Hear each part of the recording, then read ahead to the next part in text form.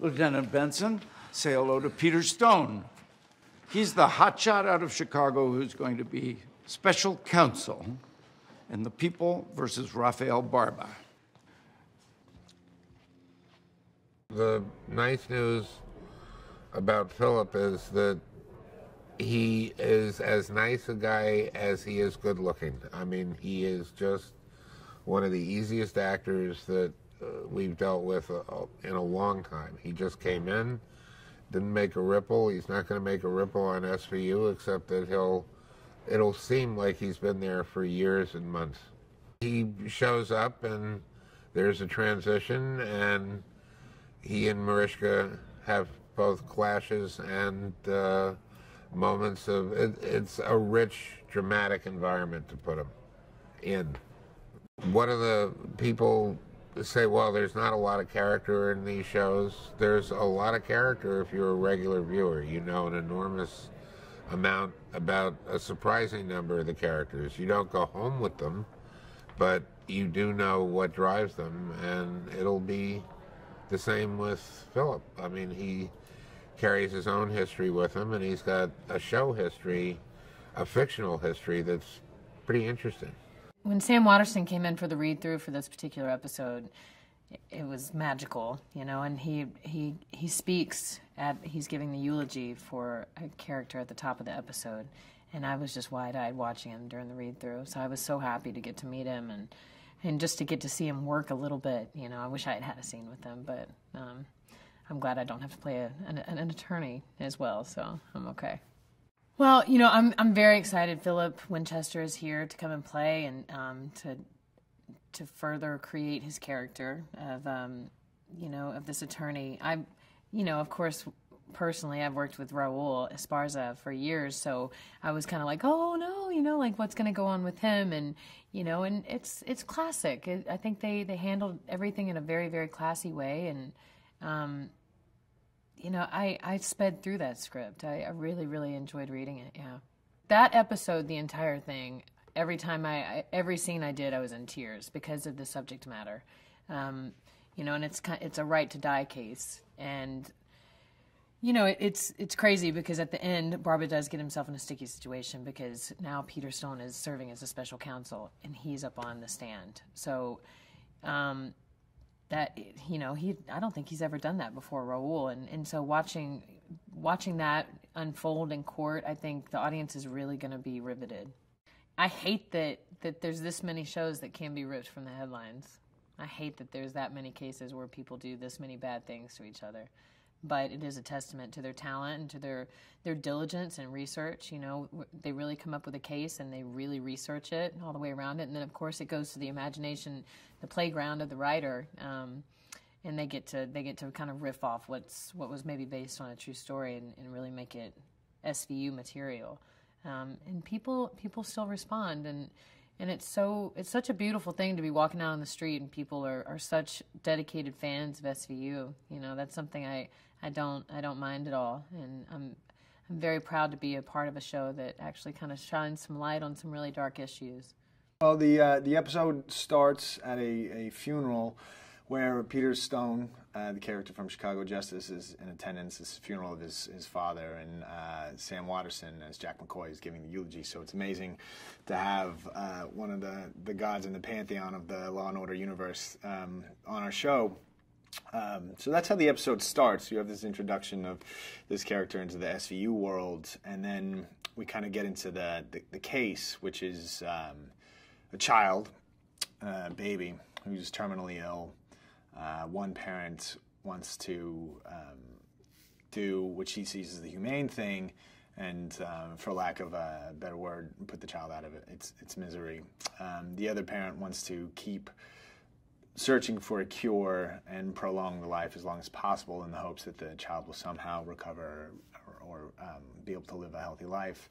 Um, so it's it's a tension that's kind of born out of love of, of both parents as to their love for the child and, and how they can um, best serve that. Um, and that leads to all kinds of conflicts, obviously um, which the characters get embroiled in, and we all come at it from different angles with our own different personal perspectives on um, which, which had happened, and it, it creates a very moving, moving episode. Whenever somebody new comes in, you're a bit suspicious because also when you work, you know, this closely, I think a job like this, which is kind of actually similar to be, being an actor, the people you work with, you know, they become they become like family because you're around them all the time. You spend so much time. You're dedicated. You've dedicated so much of your, your time and energy to this this job that you know you see them more more than as more than co- coworkers. You know, so I think um, this new guy comes in and you're kind of like, hey, I I loved the other guy and he was very special to me and and who are you and what do you bring to the table? And of course you judge them compared to the other person and you're biased towards the other person so you kind of uh, you really force the other the, the, new guy to prove themselves in a way. Um, you know you don't have that built-in trust. You don't know if they're a good person. You don't know if they're they have good intentions you know? So th- certain things you take for granted with somebody that you know and you've worked with for years and years you know you don't extend them that same courtesy. Um, so but in terms of uh, Peter Stone being very black and uh, white and by the law, you know, I think uh, my character, at least, Carisi, is uh, a lawyer. He's passed the bar, so he could practice. And I think he's kind of very similar. Like, I think he's kind of a stickler, stickler to the law, too. So maybe that'll be a, a point where they can kind of, you know, get along. I don't know, you know. But I think um, we're going to give him a fair shake, for sure. Michael Moriarty, Ben Stone, I remember watching you know him when I was a kid with my mom. You know, waiting for my dad to come home from work, and we would watch Law and Order sometimes, and he would be the the uh, the the ADA, and I always thought he was so uh, incredible. And here we are. 20 years later, and his son, it's it's almost like full circle, you know. And I, I think, um, you know, there's something very special about that, and you you kind of get a sense that how far-reaching the show has been you know how it's it's spanned generations and decades and what's happened in terms of the culture and, and, and everybody. And this kind of wraps it all back to that which I think is kind of a, a great a great thing.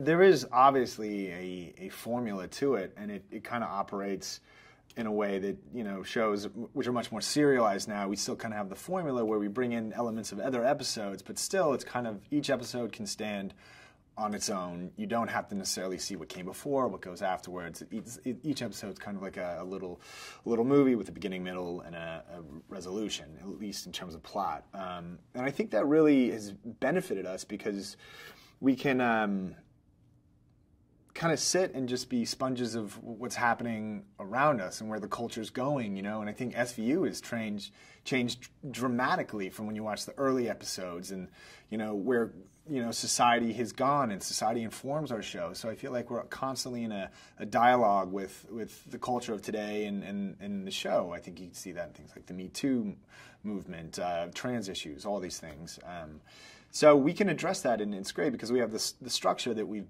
built in that's been going on in the show, not just SVU, but Law and Order Original and all those things for 20 plus years. So we have a structure that exists where we can kind of plug those things in and then really just jump in and tackling the issue or you know the the complications that arise with these issues. Well, Stone comes in. Uh, he's a new ADA. He's uh, kind of there because Raul has gotten himself in some trouble, and that's never good on this show. So um, you know, we always have a kind of reluctance to new people. We look at new people, we don't trust them. They, they're not part of our team. We're very comfortable with Barba. But, um, you know, now we got to figure out where Stone stands. Uh, our show is always a, a moral play between what's right, what the police are supposed to do, and then how people really feel. And that can get the cops in a lot of trouble. Again, it gets Barba in trouble. Well, there's always there, there always is some form of clash, but that makes good television. You know, um, if we welcome everybody with open arms, there's no tension there. So they like to make some form of tension. Uh, I think Fin, he's about the easiest one to, to, to bond with, but then Fin is ultra protective of Olivia because, uh, like in one episode, he says, she's the only one that can do this job.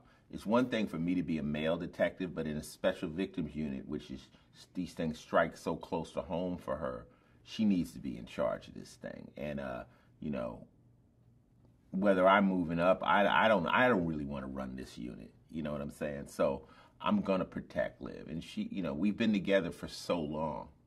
So yeah, uh, anyone that's coming for her, they have to kind of come through me. I think that what makes SVU so important is that you know we're dealing with living victims.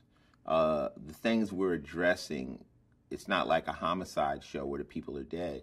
The people that watch this show, a lot of them are survivors. A lot of them have been through some of these incidents, so it strikes really close to home. In a way, a lot of this, these shows are therapy, and um, you know women that have been through sexual abuse or, or, or child molestation, all these things we deal with, they kind of want to see the bad guys get their due. And on the show, even though it's not reality, you know, I play the guy that kind of, you know, handles these people the way the viewers kind of wish it would have happened maybe for them. A lot of times they didn't get justice.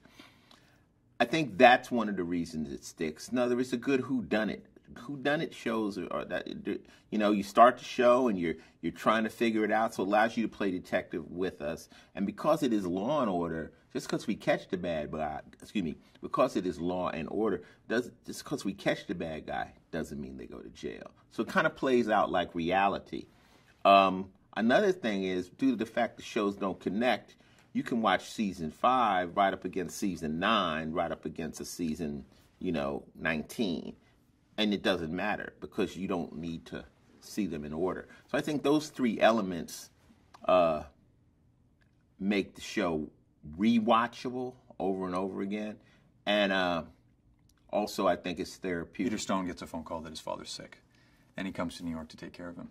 Um, and while he's here, his father passes away, and Peter Stone is dealing with the fallout. He's dealing with uh, you know family stuff and the realization that he's the only one left. And uh, he meets up with Jack McCoy, played by Sam Waterston, which was, um, for me as an actor, outside of the character, was a, was a, it was a big deal. I mean, I grew up watching this guy on Law and Order. He did it for 16 years, I think, and uh, yeah, it was. A, it's a. He's an amazing guy. Um, so anyway, so Jack McCoy brings in Peter Stone and says, "Listen, we have a case. We have something that's gone gone wrong. My ADA has been involved in something here. There's a right to die case that has come up. He's involved in a way that I can't discuss, but I need your involvement too. And Peter's not sure about it because he left New York to run away from his father, basically, to run away from the shadow that his father cast on him and his career. Um, and so, you know, Jack McCoy is a pretty convincing guy, and he convinces Peter to stick around and, and look at this look at this case. And so that throws Peter Stone into this world with um, with Barba that he didn't expect, and Barba's up against the ropes. Um, and look, what what happens is ultimately um, Peter Stone ends up staying in, in New York a lot longer than he thought. All these worlds are colliding. He he wanted to be a baseball player. He hurt his arm. He wanted to be in Chicago. He was running from his father. Now he's thrust back into this world. His father died. He's the only one left. And it all kind of comes crashing down on Peter at this moment. And we have this nice moment where we get to see Peter's human and he's broken and he's fallible and what mattered to him and what matters to him is not what he's showing everybody else. And so um, I don't know. It, for me, it was an amazing experience because prior to shooting that scene, I was having a costume fitting, and I saw Sam Waterston walk into the courtroom. We were, I think, we were crossing over on our costume fittings or something, and the courtroom was empty. No, we weren't filming in there. We were filming on the SVU set or in the in the um, detectives set, and uh, Sam just walked in through the back door, and I kind of hung back, and he walked into the middle of the courtroom, and he looked at the prosecutor's chair, and then he walked into the middle of the courtroom right in front of where the judge is, and he looked at the witness stand, and he just walked over to the witness stand, and he just put his hand on the corner of it, like he's done thousands of times before in these shows. And then he picked his hand up and he thought about it for a second and he walked out of the courtroom. And i just i just i was just by happenstance happened to be walking by and uh, it was pretty powerful. I don't think he knows anyone was watching. It was not to be creepy but i just stood back and i was like man this guy is a legend. This guy i mean this is his world and he created this stuff and the stories in these walls and the stories in this courtroom and so to be able to see that, and what was neat was that was before I shot that scene, so I kind of felt like I could draw from that a little bit and put a li- put a little bit of that story into Peter Stone, and um, we'll see what happens. Sometimes Peter has a difficult attitude because he is he's like his father. It's black and white. The law is the law, and you do what you must um, to uphold the law. And so, in this first case, it is it is a case of feeling right and feeling wrong, and then a case of the law being the law. And so he instantly clashes with Barba's character. He clashes with Benson. He clashes with the whole SVU department because he comes in to do something from, and from their from their side looking in, it's going to affect one of their people big time. Um, and Peter doesn't care because it needs done. Um, I think subconsciously, without giving too much away about what happens in the case, Peter genuinely doesn't want this to go the direction of his argument, but it has to be done in such a way that it looks like that from the outside. And so he comes in guns blazing and um, and he makes his case. Clearly, when we you know when we talk about these worlds and we talk about this stuff, we have to bring up Dick Wolf because they're his. They're his ideas, and it, it was his brainchild from the beginning. Um, he's he's an incredible guy because he this is what he does he does TV, and he's the godfather of television. He has the Chicago franchise. He has this. Law and Order's been going on now for how many years? You know, combined with the first one, and then Law and Order, the original. There was the look. There's just there's so many versions of these worlds, and he knows what people want to watch, and I think that's why they're still around. He makes good drama. He gets people involved who want to tell stories. He gets writers involved who have their fingers on the pulse, and he makes it happen. And he doesn't stop. He doesn't rest. And you can see that in the work. You can see that in the type of people working on these shows. You can see it in the stories that are coming out. He, he just gets it, and he does it better than anyone on TV.